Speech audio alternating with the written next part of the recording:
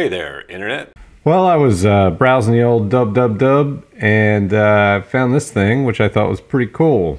It's on Practical Machinist. The post is titled Interesting Cycloidal Drive.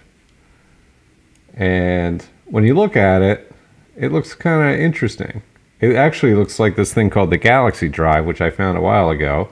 But this was made like 60 years ago. So you can see there's uh, these funny shaped, kind of almost cycloidal tooth looking things. It's not a cycloidal drive necessarily. And then you've got these fingers, and then you have a, a eccentric that pushes those fingers into engagement with the ring.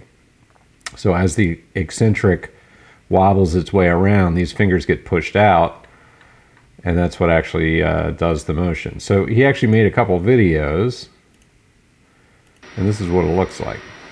Which I was watching that, I was like, wow, that's cool.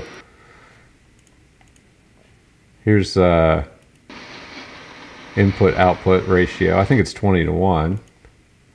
And then here is what it looks like when he's got the output gear held in a vise. He's just spinning this part here. So I decided to make one. What I did is I took a picture just to get the general shape of the curve because my first try wasn't very good at all. So uh, I took a picture. I took a picture from the forum and uh, manipulated it a little bit, scaled it a little bit, and uh, I created this drawing.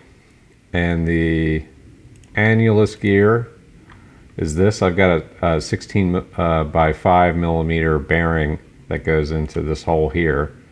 So that's the annulus. This has uh, 19 teeth, I believe. And then inside of that goes this little slot guide, and this is also the output of the gear.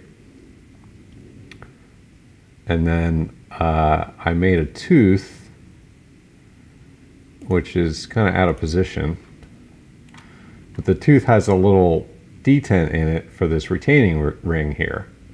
And the profile uh, matches the profile. I, I, I kind of moved it over to line it up with everything else. And uh, believe it or not, it worked. So uh, let's take a look at how it works in motion.